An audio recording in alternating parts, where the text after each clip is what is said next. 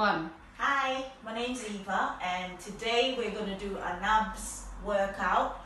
You'll just need a mat with you, and basically, if you've got a phone or a stopwatch, have it with you as well.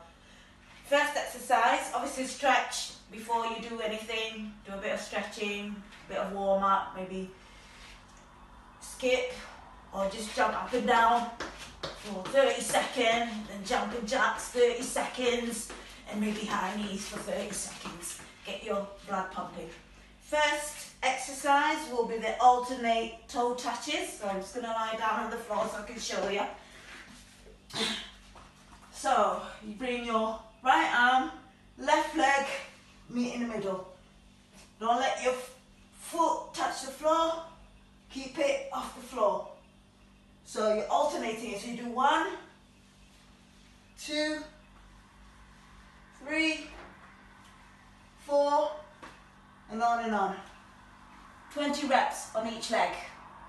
Second exercise is your knees in and out. So you lie down on the floor. You can either support your back or you can put your hands behind your head or on the floor, whatever's comfortable for you.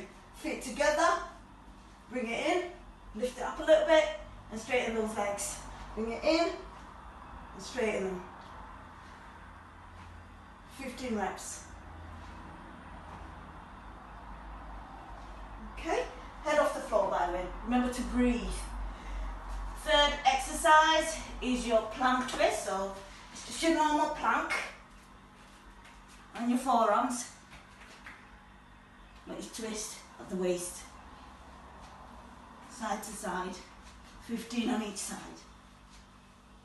Okay, next one is your plank obliques. So you could have like a 10, 15 second rest before you go to the next one. And bring your knees in to your elbows. 15 reps on each side. Rest for 15 seconds and then go to the next one, which is your crunches. Got an option. Just do just your upper torso, 15 reps, or all the way up, 15 reps. And your next exercise is your bicycle crunches. Feet off the floor, twist, twist, and twist. Steady pace. 12 to 15 reps.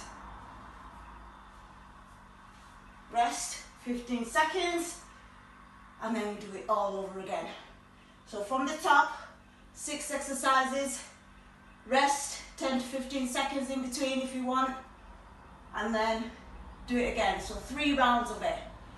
At the end, once you've done the three rounds, what I want you to do is do some high knees, 30 seconds on your stopwatch, because that, that really tones up your abs.